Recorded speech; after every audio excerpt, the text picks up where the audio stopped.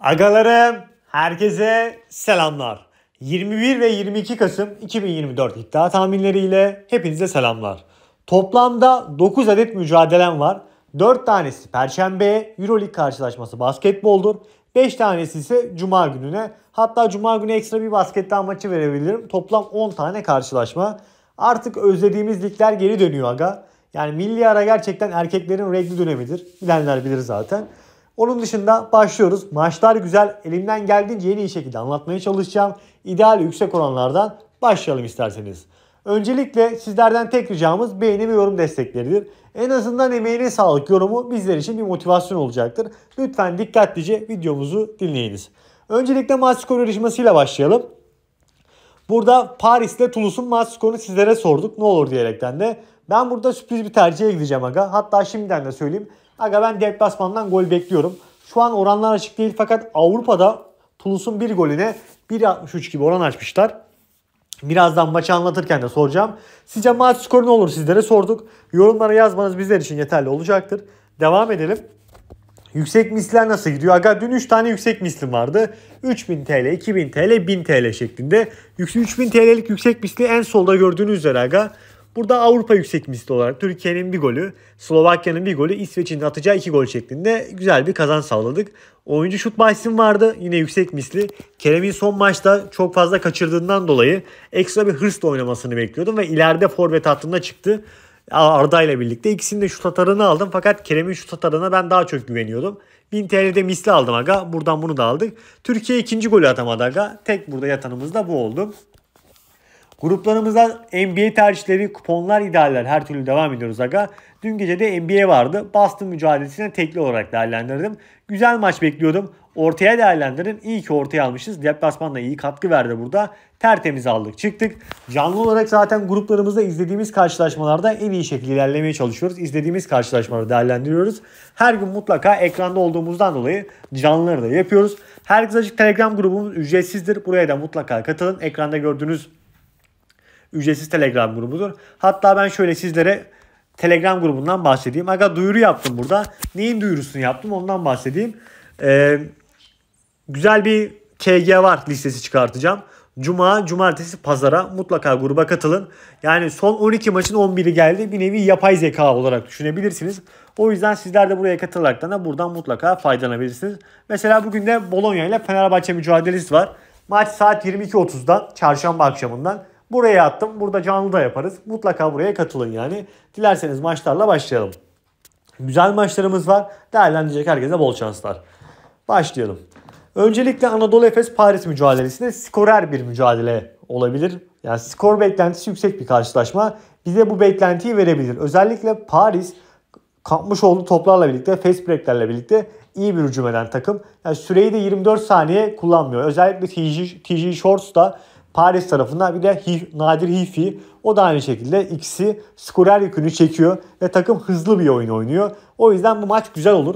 Ben burada maç sonuna gitmedim. Maç sonu belki ikinci yarı düşebiliyor ama ilk yarıdan 80 84.5 üstünü aldım. Yani benim tercihim burada ilk yarıdan çıkan sayı aga. Şöyle göstereyim. 1.50'de oranı var. En üstte gördüğünüz üzere ilk yarı 84.5 üst beklediğim bir karşılaşma. Skor, skorer iki takım. Skoru yüksek bir karşılaşma beklediğimi belirteyim. Fakat ben ilk yarıyı değerlendiriyorum. Kızılyıldız'la Partizan mücadelesi. Yani Obradovic Partizan'dan hiç memnun değil. Partizan bu sezon Euroleague'de oynamış olduğu 10 maçın sadece ikisini kazandı. Bu bir nevi derbi maçı olduğunu biliyorsunuz. İçeride nasıl bir atmosfer olacağını bilenler vardır. Kızılyıldız zaten bu maçın atmosferiyle birlikte kazanmaya yakın olan taraf. Ben burada bir Kızılyıldız galibiyeti bekliyorum. Bu galibiyet gelirken de e, maç sonu bir yetiyorsanız alın veya 3 farklı galibiyetini alırsanız da oranı ideale çıkartırsınız. Ben burada Kızılyıldız tarafındayım. Hem maçı kazanmasını hem de en az 3 fark atmasını bekliyorum. Olympiakos'la Baskonya mücadelesi. Bu maçta biraz terse gittim. Terse gitmemin sebeplerinden bir tanesi Olympiakos'un yıldızı, en önemli oyuncusu. Bana sorarsanız da Şaşa Vezenkov bu maçta olmayacak. Son mücadelede sakatlandı. Vezenkov bu maçta yok. Ben burada Baskonya tarafına gitmek istiyorum. E, Baskonya tarafına da nasıl gideriz diye baktığım zaman da burada 15 fark yemezi var Baskonya'nın. Bence onlar da bir yerde karşılık verecektir. Özellikle Marcus Howard'ın çizgi gerisinden isabetlerine ihtiyacımız olacak bu mücadelede. Baskonya Olympiakos'ta Vezenkov yokken de maç ne kadar deplasmanda da olsa burada 15 sayı fark yemeyebilir aga. Benim beklentim bu yönde.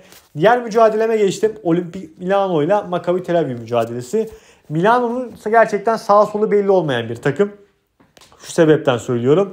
Milano'da Messina var. Yani bence taraftar da İtalyanlar da çok memnun değil Messina'dan. Şunu belirteyim. Yani bir 35 sayı fark atmış mesela Milano. Geçenlerde ordu. Aga maç bir bakmışsın 35 sayı fark yemiş. Öyle bir takım. Dengesiz bir takım. Maccabi Tel Aviv'in Milano'ya karşı bir üstünlüğü de var bence. Ben burada açıkçası Tel Aviv tarafındayım.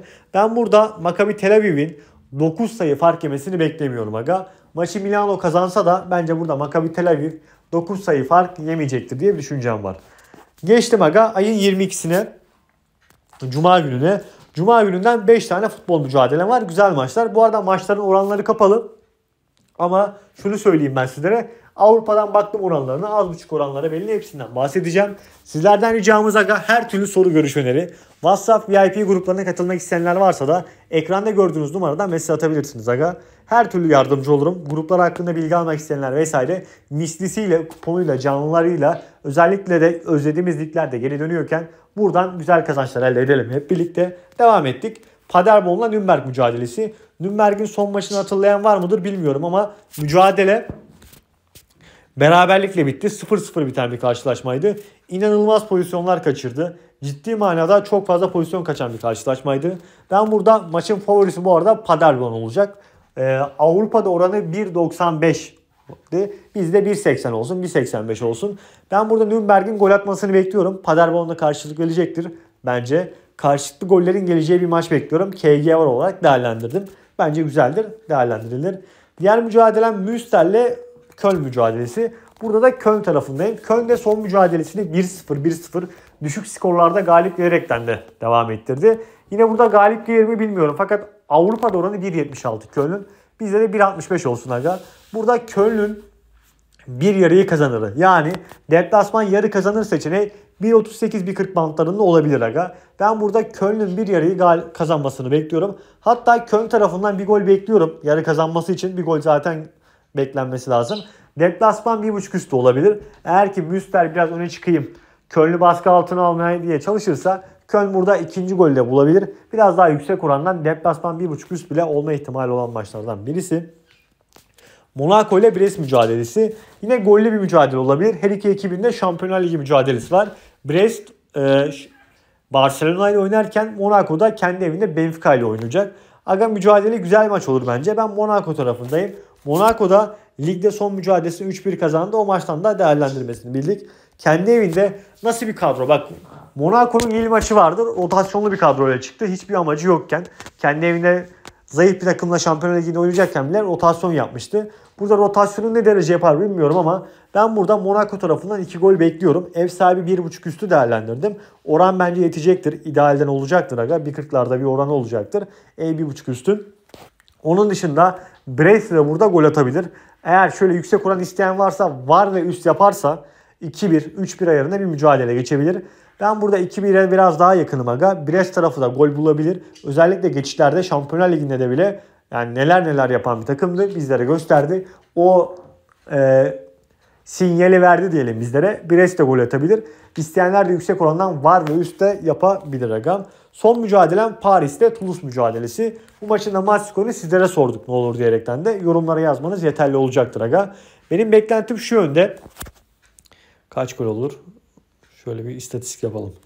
Agalarım ben burada Paris'in burada ligde bir amacı yok aga. Paris'in ligde bir amacı olduğunu düşünüyor musunuz? Yok zaten bu ligi her türlü alacak Paris. O muhtemeldir zaten. Aga Paris'in önemli olan Şampiyonlar Ligi. Şampiyonlar Ligi'nde de 2-3 maçtır 3 maçtır puan bırakan ve bu maçta Bayern Münih deplasmana gidecek olan bir Paris var. Bu maçta rotasyonlu kadro çıkar mı bilmiyorum ama akıllar yüksek ihtimalle Bayern Münih maçında olacak. Ben bu maçın skorunu sordum. Hatta videonun başında derim. Aga ben Toulouse'un burada bir gol bulmasını bekliyorum. Deplasman Toulouse'un bir golü Avrupa'da 1.63 oranı var. Bizde de bir 55 olsun. Ben burada deplasman Toulouse'dan bir gol bekliyorum. Yani oran yükseltmek isteyenler KG var falan yapabilir. Ben onu karışmıyorum. Ben Toulouse bir gol attığı zaman yeşili çekerim, devam ederim. O yüzden ben burada önerim Toulouse'un atacağı bir gol. Sizler de maç skorlarınızı yoruma yazın aga. Hatta bir tane daha Euroleague maçı var. Hemen ondan da kısaca bahsedeyim. Aga Bayern Münih Barcelona maçı. Bu maçı da ben üst bekliyorum. En alt baremden kaç var? 167 var sanırım. 167.5'tan üst alınabilir. Cuma günü Euroleague karşılaşması.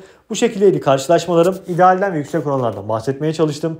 Değerlendirecek herkese bol şanslar. Videoya like atıp kanala abone değilseniz abone olmayı unutmayın. Her türlü soru görüş öneri için ekrandaki WhatsApp hattından benimle iletişim kurabilirsiniz. Şansımız daim olsun. Görüşmek üzere. Seviliyorsunuz. Bay bay.